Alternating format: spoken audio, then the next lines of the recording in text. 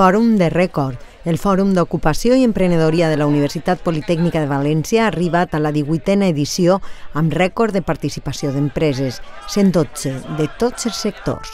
Aquest any hem complit, hem fet tots els rècords, que són 112 empreses i institucions que han volgut estar així, han volgut estar així d'una forma sostenible, perquè ells també aporten una, una quantitat econòmica per estar així, i a més a més han fet una sèrie de cubos que heu vist de distints colors, cubo groc, cubo blau, verd, en el que així se van a fer 80 xarles, tallers, durant aquests dos dies del Foro d'Ocupació de, de, i Emprenedoria.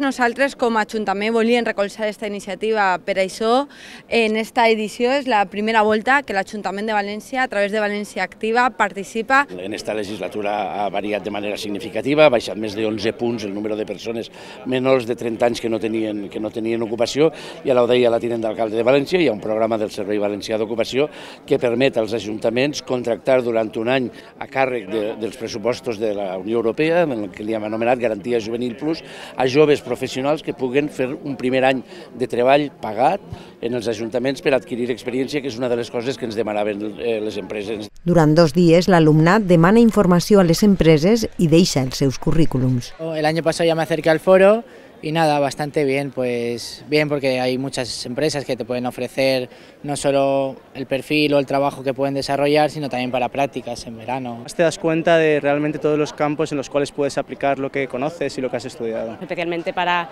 los que estudiamos el máster, que ya estamos más cerca de incorporarnos al mercado laboral, pues es una buena oportunidad. Les empreses busquen talent entre l'alumnat de la UPB. Vimos que tenía bastante relevancia esta feria de empleo a nivel europeo, que tenía una presencia pues, bastante importante de, de empresas tecnológicas, que la Universidad Politécnica de Valencia también tiene un peso importante en la parte de, de ingeniería y, y, por eso decidimos probar ¿no? también aquí. La xarxa europea EURES, que facilita la mobilitat laboral europea, posa el punt internacional al fòrum amb la participació d'EURES Alemanya, Bèlgica, Dinamarca i Suècia.